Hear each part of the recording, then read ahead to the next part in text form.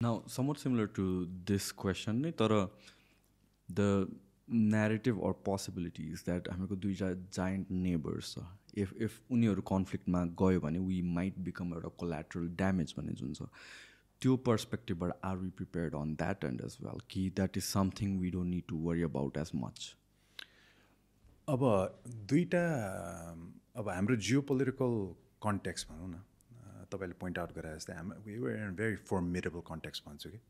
It's between a rock and hard place होइन? जहिले पनि दुई ढुङ्गा बिचको तरुल भने जस्तै। तर त्यति मात्रै नभएर त्यस त्यसमा अरू चिजहरू पनि छ कि। दुइटै countries nuclear powers largest population largest armies होइन? लार्जेस्ट पोल्युटर्स पनि हो नि दुई दुईवटा कन्ट्रिजहरू उनीहरूको जस्तै आज आजको दिनमा दिल्लीको AQI level I think is hazardous कति अनब्रिदेबल एयर छ क्या अरे दिल्लीमा होइन? चाइना पनि एट वान पोइन्ट सो त्यसले पनि हामीलाई इम्प्याक्ट पारिरहेको थियो. So in terms of threat landscape we have a massive threat landscape होइन very formidable one military wise उनीहरूको केपेबिलिटी पनि हामीभन्दा धेरै धेरै गुणाको छ। तर त्यसमा एउटा हामीले इग्नोर गरेको फ्याक्टर के हो भने नेपाली नेसनल्सहरू इन्डियन आर्मीमा चाहिँ आज पनि तिस हजारको सङ्ख्यामा लडिरहेछन्। जब लडाइँ भयो भने Gorkha regiment will be the vanguard front लाइन्समा Gorkha रेजिमेन्टै हुन्छ होइन? अनि उनीहरूको वार थिएटर चाहिँ नि कस्तो छ भने it's at a very high altitude होइन? तिन हजार चाइनिजहरू आएर तल दिल्लीमा लड्ने ऊ भने the war will take place more less at the border which is high altitude warfare high altitude वारफेयरमा जाने बित्तिकै it's a completely different set of warfare किनभने तपाईँले जुन ट्याङ्क्सहरू जुन किसिमको इक्विपमेन्टहरू रेगुलर एल्टिट्युडमा अपरेट गर्नु त्यो त्यहाँ काम गर्दैन.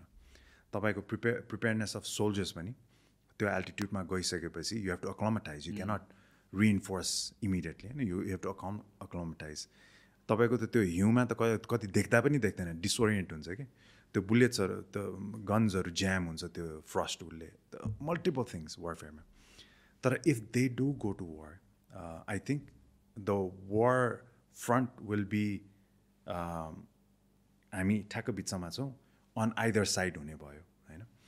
त्यसमा चाहिँ नि हाम्रो हाम्रो थ्रेड ल्यान्डस्केप कसरी हुन्छ भन्दाखेरि जस्तै one once you start firing artillery भनौँ न अथवा if you flying aircrafts and बमिङ places targets त्यसमा चाहिँ नि मिसक्यालकुलेसन भएर नेपालमा खस्न सक्ने सम्भावना त्यो चाहिँ नि सबभन्दा बढी चाहिँ नि त्यो हुन्छ एउटा।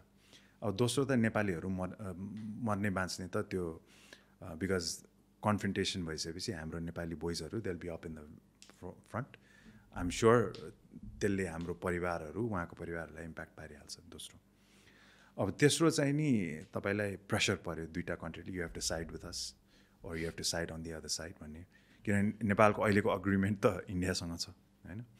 उसले प्रेसर गरेर तेरो बोइजहरूलाई चाहिँ नि make sure that you they don't fight for you call them back भन्न सक्छ एउटा पोसिबिलिटी त्यो गरेको खण्डमा के गर्ने हामीले? अथवा हाम्रै ल्यान्डलाई युज गरेर सिधै उनीहरूको टेरिटोरीमा हाम हाम्रो ल्यान्ड इन्कर्जन गरेर उनीहरूको टेरिटोरीमा जाने अथवा हाम्रो ल्यान्डबाट चाहिँ नि एक अर्काको टेरिटोरीमा हान्ने सम्भावना पनि त्यत्तिकै हुन्छ। So these are some of the options अथवा भनौँ न पर्मिटेसन्स द्याट कुड ह्यापन त्यो फेजमा हुन्छ यिनीहरू दुई बिचको लडाइँ। मलाई चाहिँ नि पर्सनली स्पिकिङ हुन्छ जस्तो लाग्दैन किनभने त्यो दुईवटा देश लडाइँमा जानु भन्दाखेरि त्यसको डिटेरेन्सहरू धेरै छन् कि। Because India and China for example are the largest trading partners होइन उनीहरूको ट्रेडको भल्युम एक्सट्रिमली हाई छ. दोस्रो they are also part of these very exclusive ग्रुप्सहरूमा उनीहरूको सङ्गठनमा एससिओमा छन् ब्रिक्समा छन् होइन उनीहरू आफै बरु हामी छैनौँ उनीहरू छन् होइन त्यो अलायन्स छ। अनि अर्को चाहिँ नि त्यो थिएटर पनि कि? War theatre is very treacherous भन्छ नि। It's very difficult both sides no अर्को चाहिँ नि कस्तो पनि हो भने दुवै साइड न्युक्लियर पावर्सहरू पनि भयो नि। न्युक्लियर पावर भइसकेपछि चाहिँ नि the risk of escalation is very high तपाईँले ढुङ्गाले हान्नुभयो भने मैले अझ ठुलो ढुङ्गाले हानुला अनि मैले गोली हानुला तपाईँले फेरि आर्टिलेरी फायर गर्ला। आर्टिलेरी फायर गरेर उसले फेरि they might send their ballistic missiles भनेपछि इट कुड एस्कले त्यो एस्कलेसनको अनसर्टेन्टीले गर्दाखेरि चाहिँ नि दुइटै साइडमा चाहिँ नि हामीले एकदमै रिस्ट्रेन्ट देखाएको छौँ कि over the years over the last what seven years very few clashes अब अस्तिको एउटा भयो। तर त्यो the willingness to go to war I think on both sides is quite low because of the escalation त्यो अनसर्टेन्टी इन एस्कुलेसन यसको एउटा सबभन्दा राम्रो इक्जाम्पल चाहिँ नि के हो भने यो एउटा यस्तो फ्रन्ट हो जहाँ चाहिँ नि राइफल चाहिँ नि भिरेको हुन्छ होइन? तर लडाइँ त्यो एकअर्कासँग भिड्नाले चाहिँ नि ढुङ्गा र लट्ठीले गरिन्छ कि? No in the world you have a gun in your back होइन you have tanks behind you you have missiles behind you you have aircraft behind you but त्यो लेभल अफ रिस्ट्रेन्ट हेर्नु न ढुङ्गाले हाने हुन्छ एकअर्कालाई लट्ठीले हाने हुन्छ त्यो बार्ड वायरहरू घेरेर त्यसले हाने हुन्छ। अस्तिको जुन यिनीहरूको क्लास भएको छ त्यसमा एउटा पनि बुलेट फायर भएको छैन बाई द वे किनभने they know the risk of escalation both parties both understand parties that. very understand that the most recent development i think yesterday or day before Yeah. yesterday Oh.